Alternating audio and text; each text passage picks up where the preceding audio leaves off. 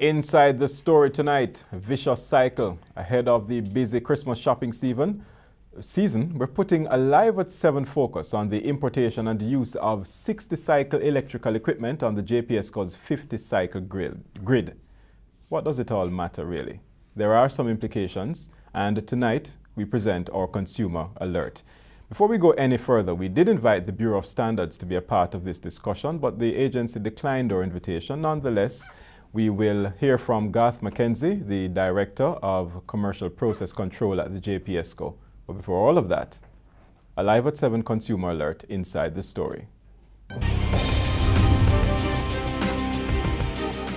Little known facts about purchasing the right piece of electrical equipment can make the difference in how efficiently the device performs and, importantly, whether you will qualify for compensation in the event of a power surge.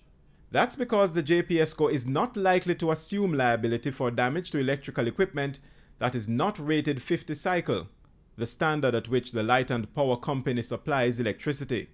I found this out the hard way recently when I filed a claim to the JPSCO for damage to my refrigerator and the surge protector on it. A few days later, the JPSCO dispatched an assessor. The company responded via this letter, saying to me that the nature of the supply of electricity is such that the interruption of or fluctuation in supply may occur from any number of reasons beyond the reasonable control of a supplier.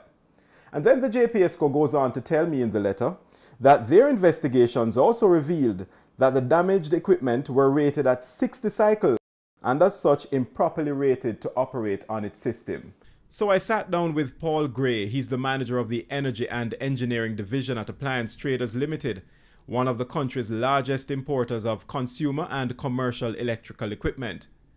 I wanted an explanation as to what the fundamental difference is between 50 and 60 cycle electricity supply. Well, um, when you talk about cycle, you're talking about the frequency, I'm, suppo I'm, supposing, right? The frequency is the number of oscillation per second that you actually use on your electrical grid. For example, in the United States, we use 60 hertz. In Jamaica, we use 50 hertz. What it means is for the layman, if you're looking at a light bulb, it's actually flickering 60 or 50 times per second. So when you look with persistent vision, you see a continuous light.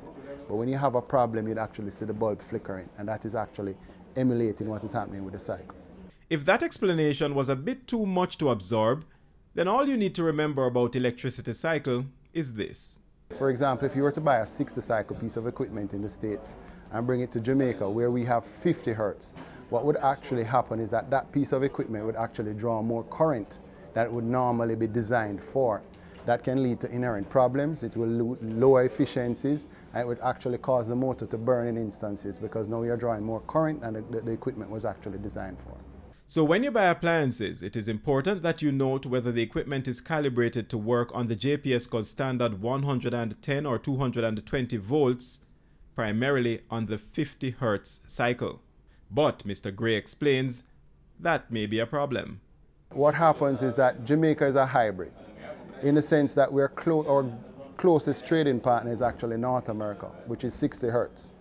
And we, by tradition, have adopted a 50 cycle grid coming back from, from, our, from, from, from, from the European occupancy of Jamaica. So what you have now, Elon, is a voltage that is mostly closely aligned to the United States, but a frequency that is aligned to Europe. So we like to say that we have a European um, frequency and a United States voltage.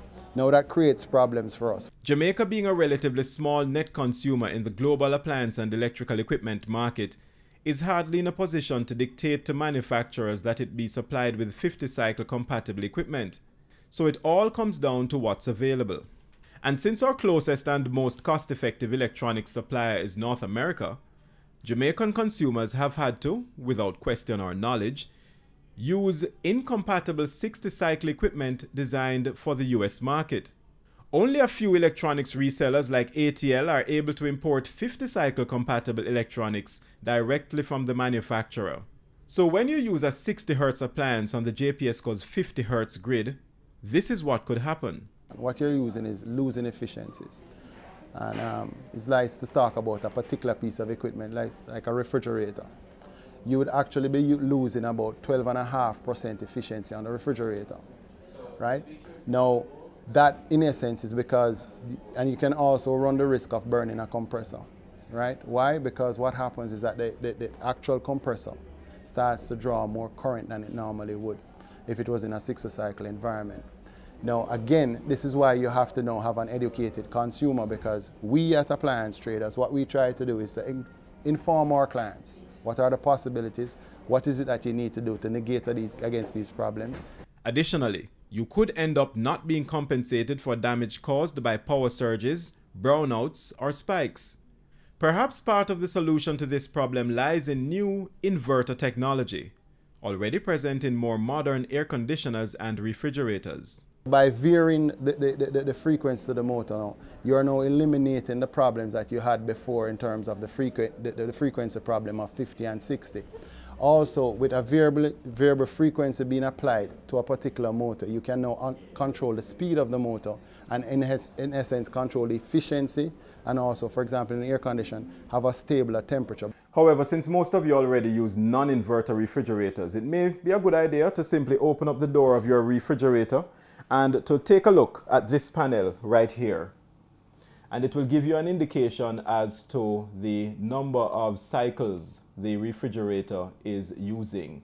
This one, the 60 cycle that I told you about earlier, for which the JPSCO had denied my claim for damage to it. I mean, do you really see the JPSCO going 60 cycle? Well, Elon, that's a question for the JPSCO, you know, in all honesty. Um, uh, if, if I was to, to, to, to, to venture to give a layman um, answer to that, I'd say no. I don't believe that the, the, the, whole conversion of the grid to 60 cycle will happen, not in my lifetime. Um, the cost of that would be horrendous. Um, what it is, it will be more the consumer and the, import, um, the importers conforming to try to, as best as possible to bring in 50 cycle equipment to meet what the grid is.